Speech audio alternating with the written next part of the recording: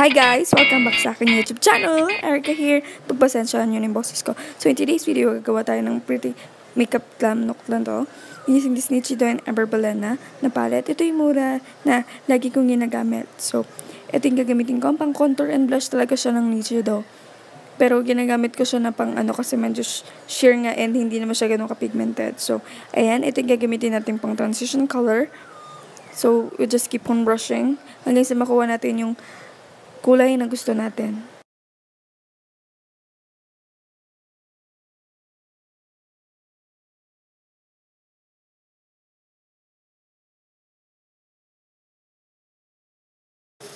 Next, gagamit, gagamit na tayo ng purple. Yes, purple talaga yung tinuturo ko. so, yan. Gagamitin natin itong hiniliit natin. Lalagay natin siya sa ating inner lid. Yes. Since hindi naman ganun ka-pigmented tong Nichido, uh, apply lang tayo ng apply hanggang sa makuha, na, makuha natin yung kulay na gusto natin. As you can see sa video, apply lang din ako ng apply.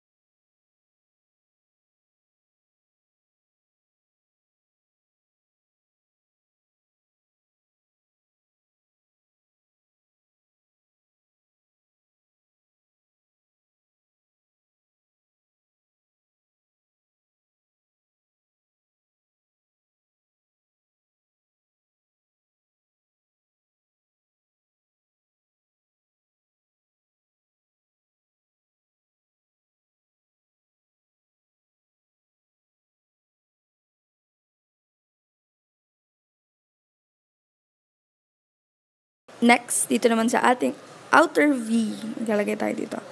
And yung parang arc, parang pa-triangle lang, hanggang dun lang yung ating purple. Itong nilalagay kong pink, yung kaninang pinalagay natin sa transition, yun yung ilalagay natin sa pinakagitna.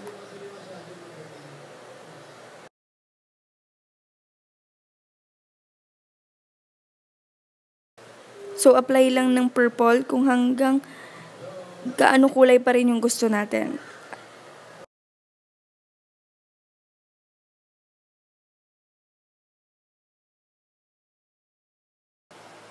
Dito, kung ano yung ating pinang transition, yun yung ilalagay natin sa gitna.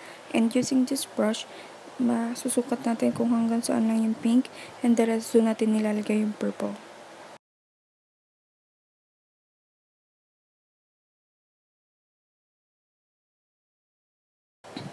So guys, ayan, as you can see, wipe ako ng wipe since ang dami kasing fallout.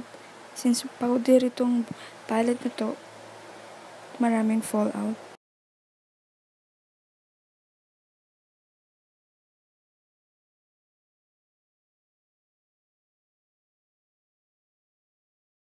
Next, move on tayo dito sa ating Everbalena na palette using yung black color and using this smudger brush and yes, ilalagay natin siya dito sa ating inner lid. And ang paglagay sa ating inner lid, ilalagay doon sa dulo, pa, punta doon sa gitna. So, pa-fade siya.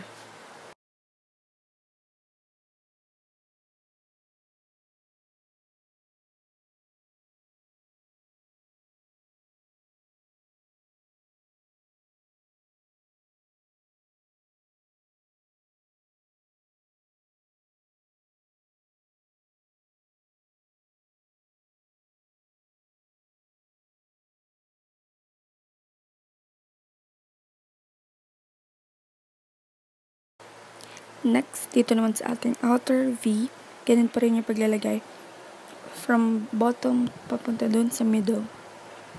And yes, light lang yung pag-apply para hindi masyado dark yung pagkakalagay dun sa black.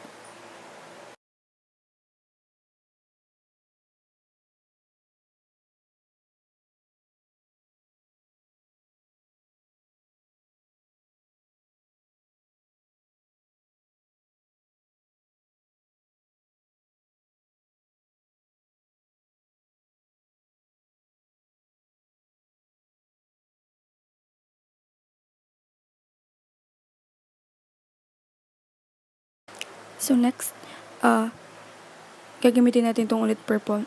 Yes, purple te. Ulit-ulit. So, ayan, ilagay lang natin siya dun sa malapit sa may black. Pwede rin ibabaw dun sa may black kung gusto nyo.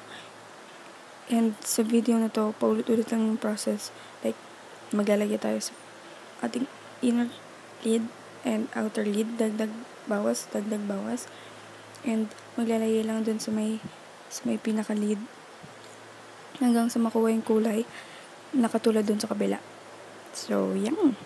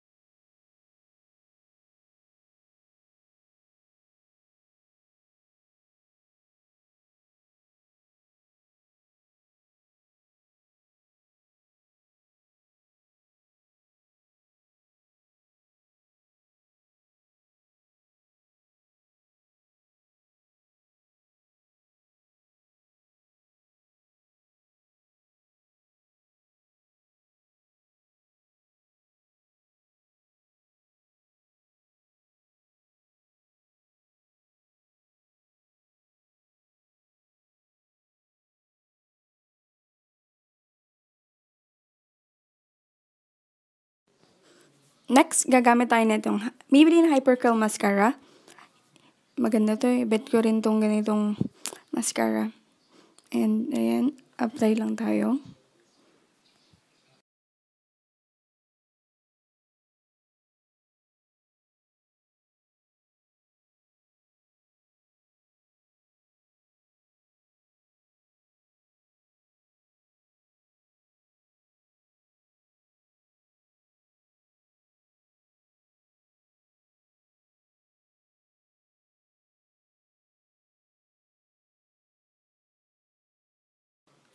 Ginagawa ko rito ay biniblend ko lang yung mga harsh lines and para ma mas smoky ng konti.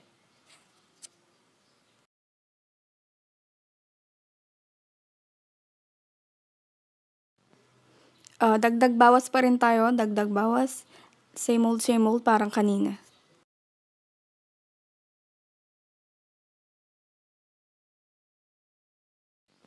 Now, gagamitin natin itong Nichido 24-hour tattoo eyeliner. And gagamit tayo ng tape.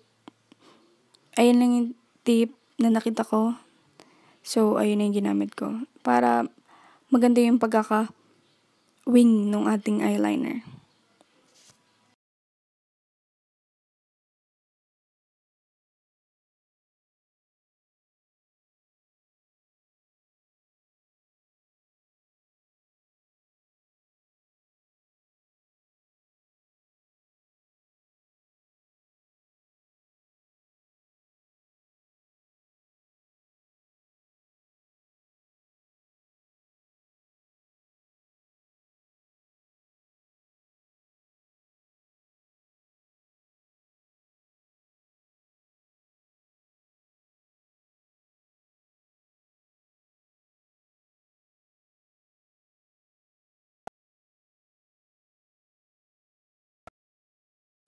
Dito, dag, dagdag bawas ulit. Dagdag, dagdag blend uh, para ma, mailabas ulit yung kulay na gusto natin.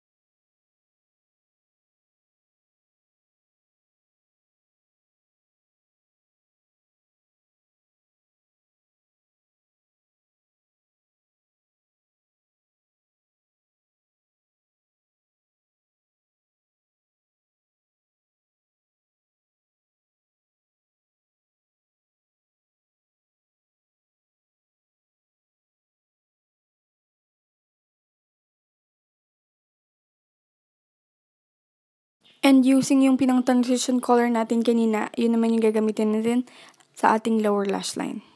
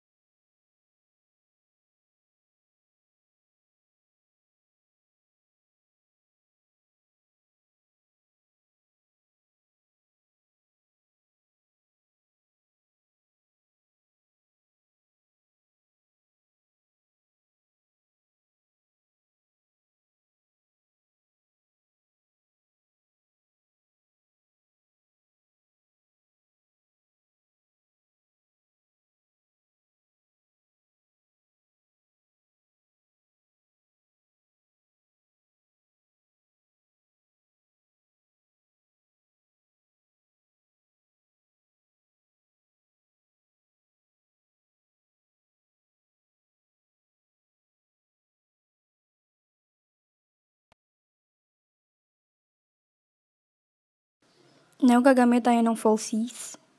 And, and gagamitin natin itong Nichido na adhesive glue na nabili ko sa Watsons for 60 pesos. Yes.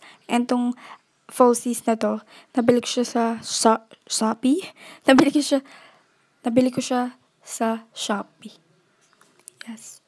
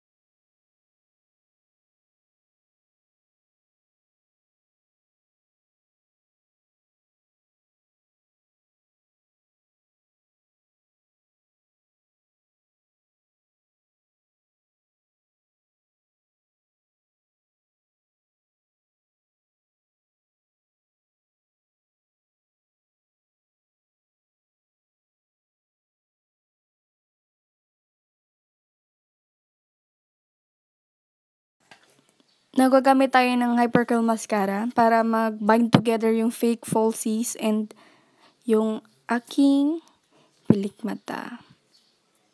Yes, apply lang.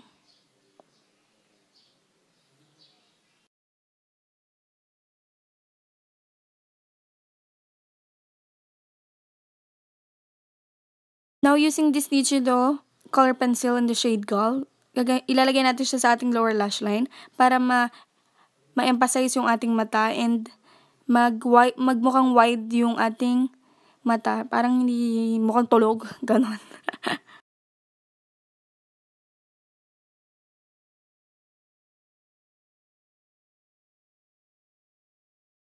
Next, gagamitin natin tong Nichido color pencil in the shade blue sa ating tight line para hindi kita na may white sa aking mata. Sa taas ng aking mata para may mukhang black all the way.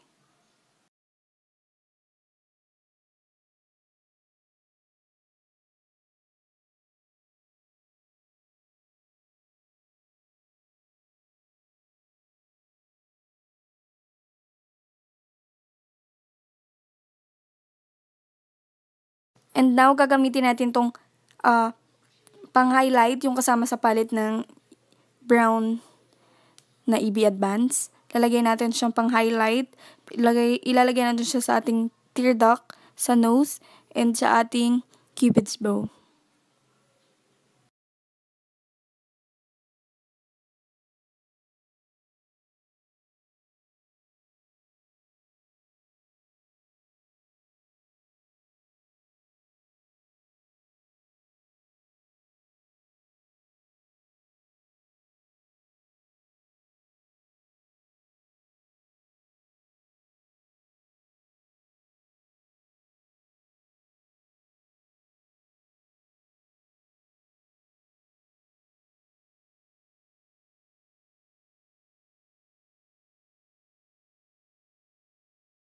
And now, nadana, ay.